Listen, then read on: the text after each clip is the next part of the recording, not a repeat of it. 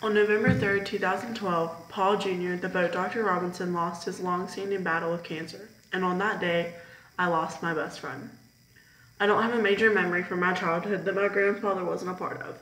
He was at every birthday party, sporting event, ballet recital, anniversary party, birth, holiday, and even when my mom was in desperate need of a babysitter. I want to tell you a heroic story of how my grandfather never gave up with his fight, how he fought his hardest to the very end, but that isn't how the story goes. My grandfather fought as long as he could, but in the end, it just wasn't in the cards for him to get better. And I wish I would have noticed that before he passed away. For many years, my grandfather woke up early in the morning and went to work at Fields Buick, where he was the head mechanic for almost 14 years. He spent days and nights working on cars for people. When my mother's family moved back to West Virginia from Maryland, my grandfather worked at a few mechanic shops in Charleston and started the Elk River Muskie Club. He worked on boats basically any time he was free, and that is how he got the nickname the Boat Doctor.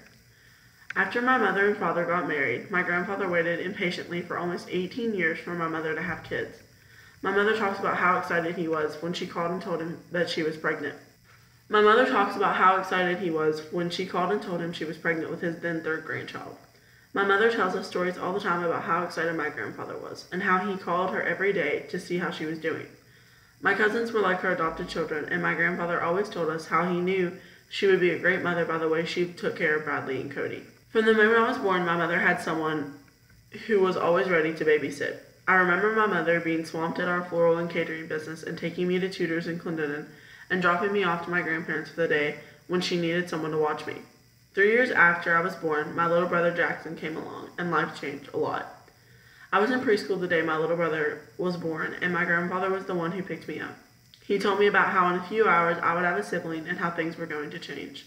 Then, of all the things he could have told me, I remember him telling me I would have to share my pop. Pop is what I call my grandfather. And for someone who was so close with their grandfather, three year old me was not up to sharing him with anyone.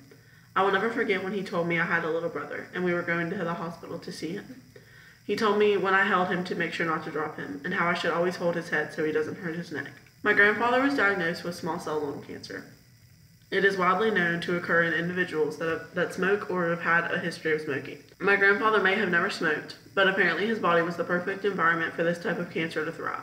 They didn't find the cancer as soon as he went to the doctor. Initially, they found that he had fluid in his adrenal gland, and they treated it as fluid buildup for a small amount of time. They eventually ran enough tests and found out what was going on. When they did his first CAT scan, he lit up like Times Square on New Year's Eve. At one point in his treatment, he traveled to Duke University to receive treatment and see if there were any new procedures or tactics we could use to keep him around longer, if not beat it. I knew it wasn't good, but I never thought it was as bad as it actually was. In a total of three months, the man I had spent my whole life chasing around my yard and fishing off the dock with was rapidly slipping away.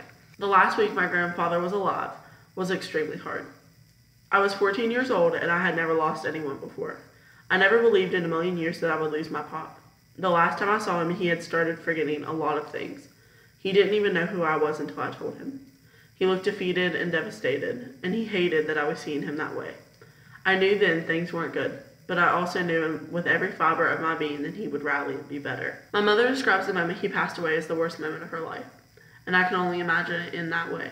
My mother explained that she had went to visit my grandfather at the hospice house in South Charleston, West Virginia, and that he was the same as the day before. She said that she told him she loved him and she would be back in a couple of hours after she went to buy me a new pair of cleats for softball that season. She wasn't even to the store when she received a call saying he had passed away.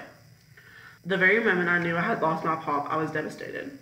He was my Superman. My mother sat my brother and I down and explained everything that had happened.